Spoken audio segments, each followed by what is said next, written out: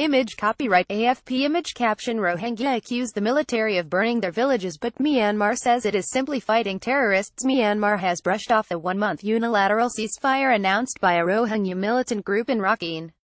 The Arakan Rohingya Salvation Army ARSA announced a truce on Sunday, urging Myanmar's army to lay down weapons as well. But government spokesman Zaw Htay said Myanmar would not negotiate with terrorists. About 294,000 Rohingya have fled to Bangladesh since violence erupted in Rakhine state last month. ARSA attacked several police posts on the 25th of August, killing 12 people.